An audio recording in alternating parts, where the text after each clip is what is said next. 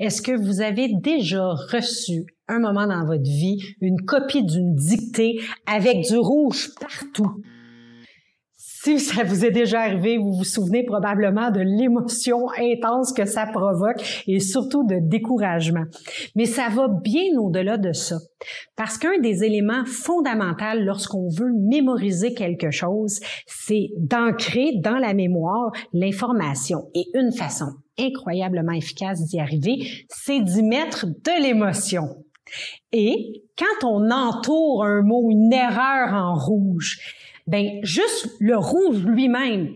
Les scientifiques ont étudié la situation, puis ils ont publié des recherches qui ont démontré que quand les enfants ou les adultes, c'est pareil, voient de la couleur rouge, leur battement cardiaque augmente et le niveau de cortisol sanguin aussi. Et ça, c'est des publications, ça a été vérifié. Alors, quand on entoure en rouge, qu'est-ce qu'on fait exactement? On fait monter les battements cardiaques, on fait monter l'émotion, donc on mémorise. Qu'est-ce qui arrive?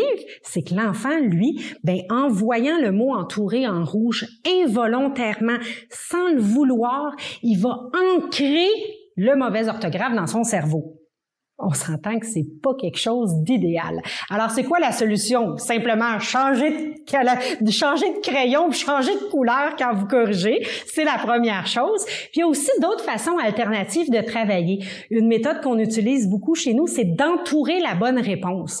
Alors, les enfants entourent ce qui est bon. C'est ça qu'ils mémorisent parce qu'ils voient, oh mon Dieu, il y a plein de choses qui sont bons et ça va augmenter la mémorisation et on va réécrire le plus rapidement possible de manière correcte. Évidemment, les mots euh, qui, qui ont oublié, qui sont mal orthographiés ou les erreurs, de manière à ce qui est ancré, ça soit ben, la bonne chose en couleur idéalement.